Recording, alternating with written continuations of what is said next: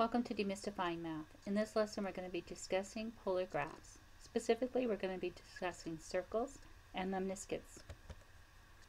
Let's start off with a circle. The equation for the circle in polar form is r equals a cosine theta or r equals a sine theta. The diameter of the circle is given by a and both the circles have a point at the pole. For the cosine graph you're going to have polar axis symmetry. Your polar axis symmetry test is to replace theta with negative theta.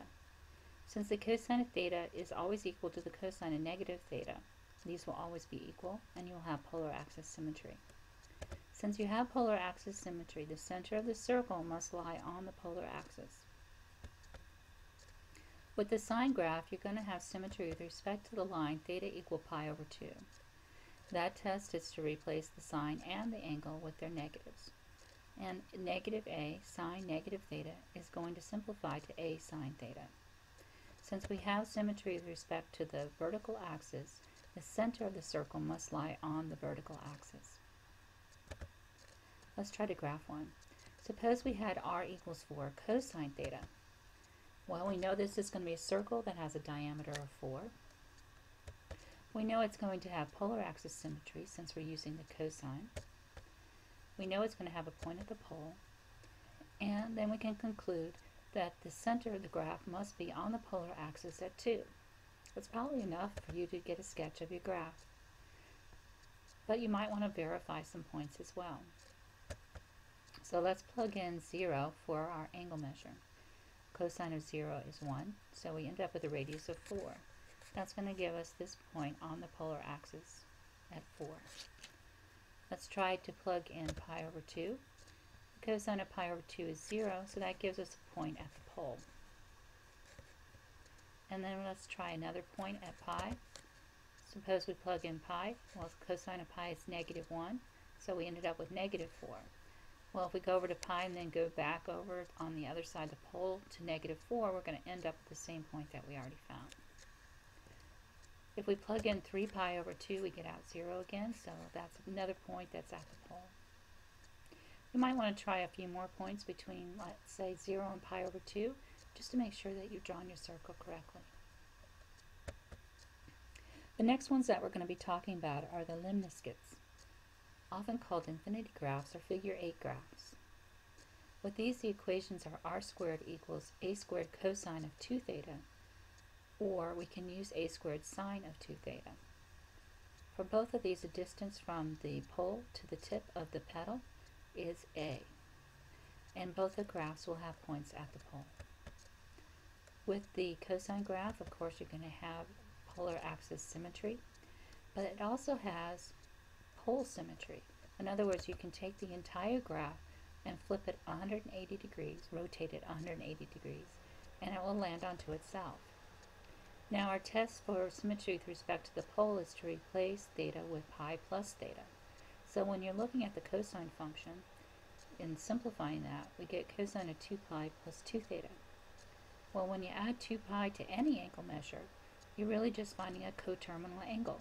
So that's going to be true for the cosine, and it's going to be true for the sine as well. So the other graph that um, has a sine graph in it you're going to have symmetry with respect to the pole as well. This graph also has symmetry with respect to the line theta equal pi over 4, which is the diagonal line going halfway in between the axes. And we're going to look at some points on that one as well to show that. Okay, let's try one. We're going to graph r squared equals 9 cosine of 2 theta. We know that it has both polar axis symmetry and symmetry with respect to the pole since we're using the cosine. We know that a is equal to 3. Remember that in your equation it was a squared cosine 2 theta. So the 9 is squaring of a, so a must be 3. That means that there are points at 3 on the polar axis. So testing that out by plugging in 0 for our angle measure, we get r equals plus or minus 3. So we have points at 3, 0 and negative 3, 0. So you can see those are here on the polar axis. This is at 3, 0, and this one is at negative 3 and 0. Now we also want to ver verify the point at the pole. So by plugging in 0 for r, we get um, 9 cosine 2 theta equals 0, or we get an angle measure at pi over 4. And you can kind of see that on your graph as you come into pi over 4, the graph is um, heading in towards 0.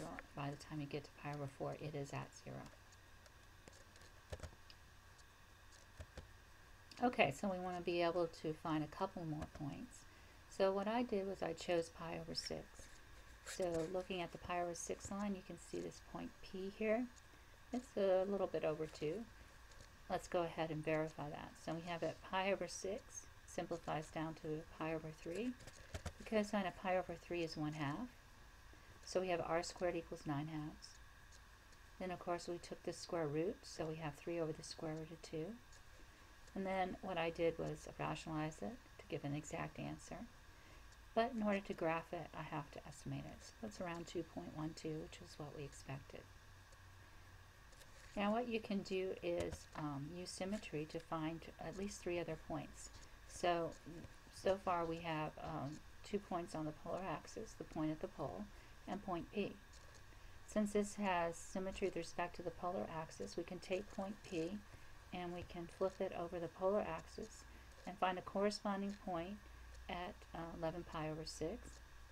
We could also rotate it 180 degrees and find another point that corresponds to it at 7 pi over 6. Then we can take the point at 7 pi over 6 and flip it back over the polar axis and we've got another point at uh, 5 pi over 6 and they all have the same radius lengths. So that should be plenty of points for you to graph um, the curve uh, pretty accurately. Okay, let's try a sine graph. So we have r squared equals 9 sine 2 theta. Since we're using the sine graph, we know we have symmetry with respect to the pole. And we know that the tips are 3 units away from the pole. Now, um, I said earlier that this has symmetry with respect to line pi over 4 equals theta.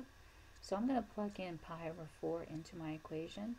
And you can see that we ended up with 3 and negative 3, which are the tips of the figure 8. And you can go ahead and graph that. So you have the, the point at the pole and the two tips that you needed. And you might want to verify the point at the pole. So I ended up with two angle measures that give me um, a zero radius length, and that's at 0 and pi over 2. So you can verify that it has points at the pole. Now you might want to find a few more points. So in this case I um, chose to use pi over 12 and I ended up with that um, 3 square roots of 2 over 2 again. So we have um, that point right about there. And then what we can do is use symmetry to find other points.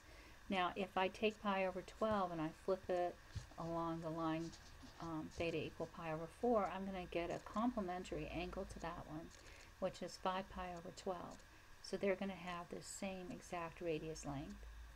And then if I take those two points and rotate them over into quadrant 3, I'm going to find two other points that have the same radius length as those. So we have at pi over 12, 5 pi over 12, 13 pi over 12 and 17 pi over 12 have the same radius lengths of 3 square roots of 2 over 2. Okay, thank you for tuning in to Demystifying Math.